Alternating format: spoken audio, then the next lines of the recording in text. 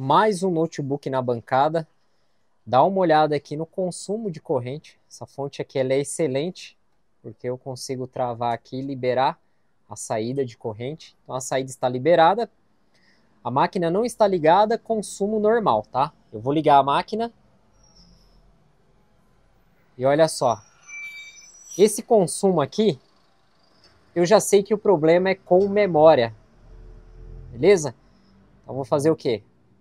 Vou travar aqui, vou colocar uma memória na máquina, vou ligar e vocês vão ver que o consumo ele vai subir e vai liberar o vídeo. Coloquei a memória boa na máquina, vamos lá novamente. Então, consumo normal, vou ligar, ó, já subiu, olha só, ela exibiu o vídeo e travou aqui.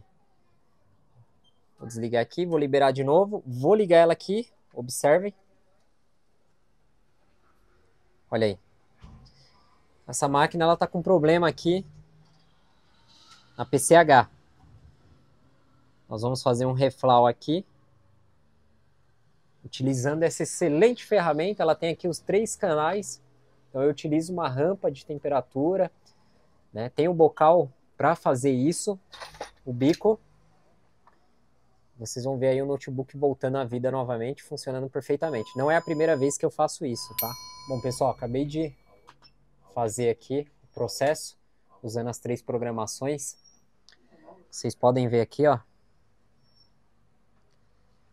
Usei essa pasta aqui, ó, que ela é excelente. Cuidado que tem falsificada no mercado, tá? E aí vamos lá, vamos abrir a máquina aqui, ao vivo para vocês. Tá ligado aqui, vamos liberar aqui. Vamos ligar a máquina. Vamos ver se vai exibir o vídeo. Liguei. Memória, maravilha, né? Passou do consumo da memória. E olha aí, pessoal, que maravilha. A máquina está dando o vídeo. E aí, a gente dá continuidade aqui nos trabalhos. Então, você que quer aprender a consertar notebook, tem interesse, entre em contato conosco. Nós temos aí o curso completo, manutenção de notebook. E FR, ferramentas excelentes aí nos ajudam muito aqui no trabalho. É isso aí, pessoal. Valeu!